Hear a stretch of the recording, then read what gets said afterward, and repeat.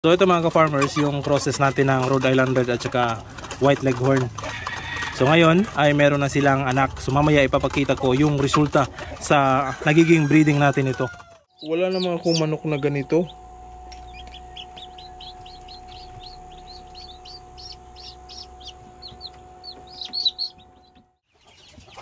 So yan na yung mga sisiyo natin mga ka-farmers. Lahat yan ay lalaki. So yan yung ibibenta natin for per kilo. Yung iba dito. At meron namang iba dito na pure white leghorn na hindi na muna natin ibibenta. Gagawin nating mga rooster. Alright. Ito naman yung mga babae. So lahat ng dito ay puro yan babae. So na-separate na natin yung mga babae sa mga lalaki. Yan. Ito yung mga first batch natin. Ito naman yung second batch. So lahat din, ah, meron pa ilan-ilan dito na lalaki. Konti lang siguro, dalawa or tatlo. At lahat na yan ay mga babae. So yan, malalaki na sila. At nagsisikipan na rin sa brooder. So nung mga nakarang araw mga ka-farmers, dito kinuha yung nabili sa atin ni Sir Matt, yung isang foreigner na bumili ng heritage chicken. Bali, uh, labing anim na piraso yung nakuha niya. So, sampu doon ay babae at anim naman na rooster. Bali, yung nabili niya mga ka-farmers ay limang babae na black australorp, tatlong rooster na black australorp, at limang babae na naman na yung process natin or yung dominant blue process ng barred plymouth rock tsaka yung orpington blue So limang babae nun at saka tatlong rooster. So yun yung isa sa mga papadamihin niya sa kanyang manukan. So yun yung na-avail ni Sir Matt sa atin. At ngayon ay meron tayong mga natitira dito. So most probably mga lalaki lang yung ibibenta muna natin ngayon. Uh, per kilo yung ibang heritage dito. Yung mga crosses. At yung mga breeders natin, yung mga pure ay pwede nating ibenta as breeder, breeder's price. So yun yung mga ano natin So dahil madami yung mga manok natin ay yung iba ibibenta natin per kilo. so hindi naman natin lahat magagamit ito. So pipilian lang natin yung mga pinakamagandang gawing breeders. At yung iba for meat type na yon. At meron pa tayo dun sa uh, kabila na mga sisiu din na mas marami pa kaysa nito. So mamaya ipapakita ko sa inyo. Alright? Ito naman yung mga rooster natin mga ka-farmers. Meron tayong labing apat na rooster dito. So mix po ito. Merong mga manok panabong, merong heritage chicken. At saka yung upgraded native chicken natin. Meron din asil. So yan sila. So walang bakante dito sa kulungan natin. So yung iba dito ay i-dispose natin dahil marami na tayong mga rooster. So konti lang yung matitira dito. So yan sila.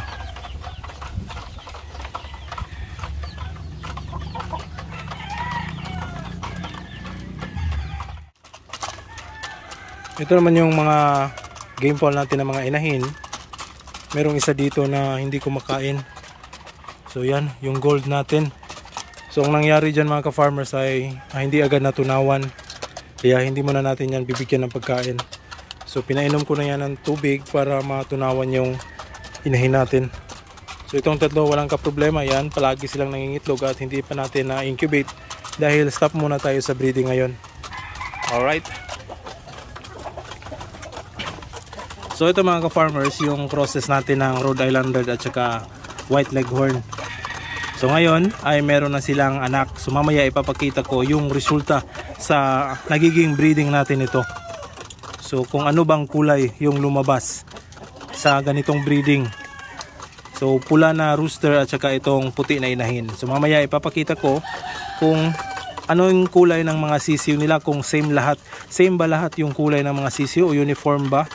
O di kaya iba-iba yung kulay nila. So ito pinapakain natin sila at ito ay hininto ko na sa pagbibreeding.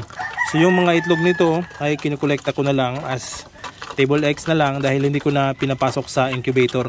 So papalitan natin yan ng rooster. Ito ibabalik natin yung mga white leghorn. Yung white leghorn na rooster dahil maraming nag-order sa atin ng uh, fertile eggs para sa ating mga subscribers, mga followers na gustong mag-alaga ng white leghorn. So ibabalik natin yon para makapag-produce tayo ng mga white leghorn na mga fertile eggs para meron tayong ma bigay at ma-share sa ating mga subscribers at followers. So yan, ito, ah, siguro bukas ko na lang ito tatanggalin yung rooster at bukas na rin natin ilalagay yung white leghorn. So yung pinapakain ko sa kanila ay same pa rin, breeder pellets pa rin sa umaga at sa hapon. So patuloy pa rin nangingitlog yung mga white leghorn natin. So ngayon ay mamaya ipapakita ko sa inyo yung mga sisiw nila.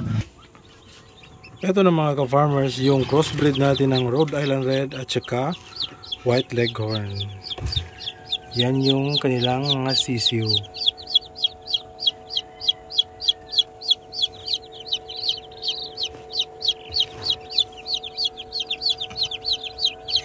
Ito na yung resulta. Yan. Ang ganda.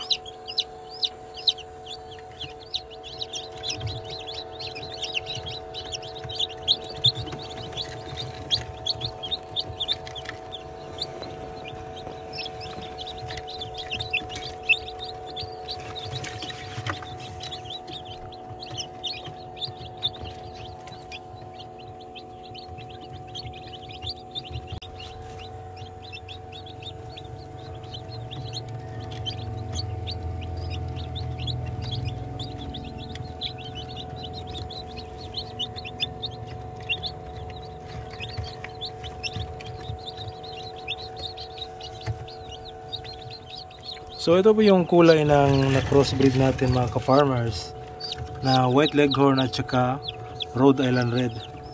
So yan yung kulay nila oh. Puti, halos puti.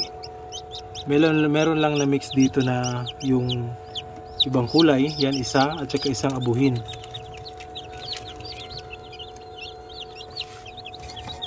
So ngayon ay kukunin muna natin ito. Ay! Antik na mahulog ang lalakas ang liliksi nila. Kukunin muna natin yan at iti-transfer natin doon sa brooder. Alright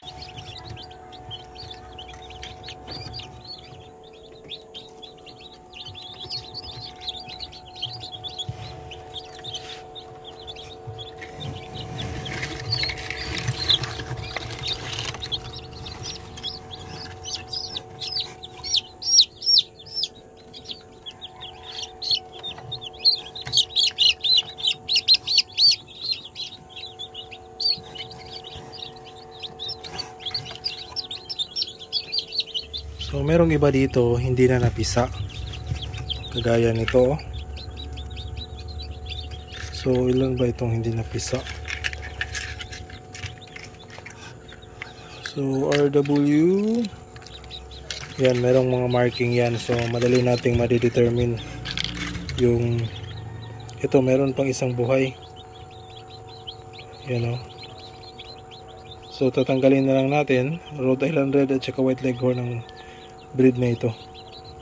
So tatanggalin natin itong eggshell para makalabas yung sisiw. So yan mostly dito RW talaga. At merong isang siguro nasali na native.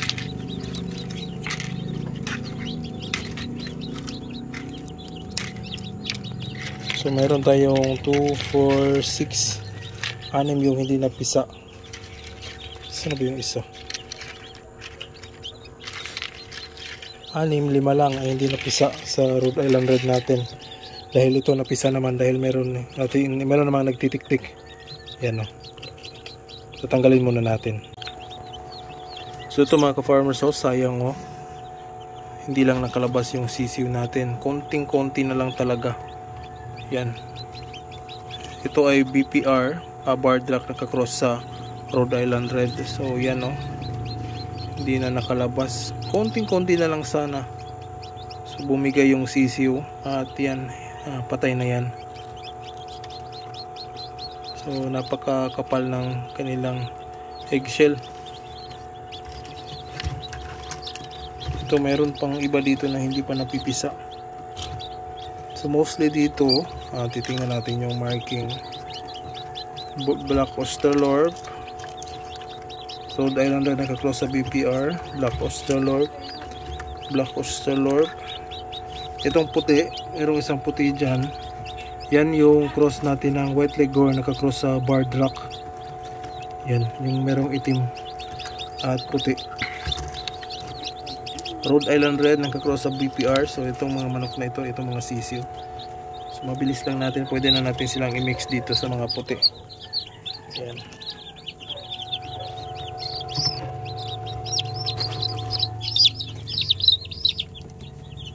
Okay.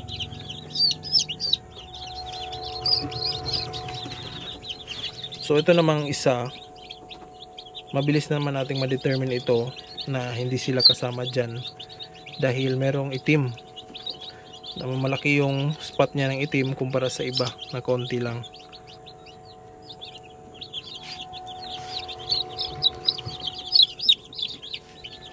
So itong iba, sayang ito, malalaking itlog oh. At ito namang huli mga ka-farmers, yan po ay lahat ay native na mga manok. Native na sisiw. Yan. Konti lang yan. So nag-testing lang tayo kung mapipisa ba yung mga native na nakuha natin. So luckily may pisa naman 2, 4, 6, 8. Meron tayong 8 na piraso. So hindi pa gaanong masyadong tuyo yung balahibo. So ito pala yung isa na sisiw.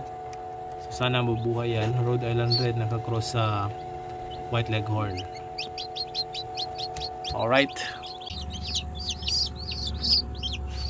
So ito mga ka-farmers, nagtataka ako kung bakit may ganitong kulay at balahibo yung mga sisiw ko. Para siyang cobra. Yan o, walang balahibo sa ulo, sa likuran. At nag-iisa lang na sisiw ito. Patiting. So yan o. Bakit kaya nagkaganito mga ka-farmers oh? yung crossbreed ah, natin ng mga native may lumabas na ganyan tapos isa lang Oh my God.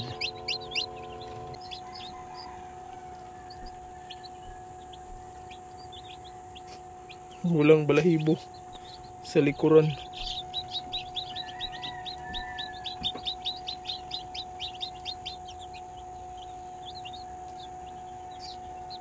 wala naman akong manok na ganito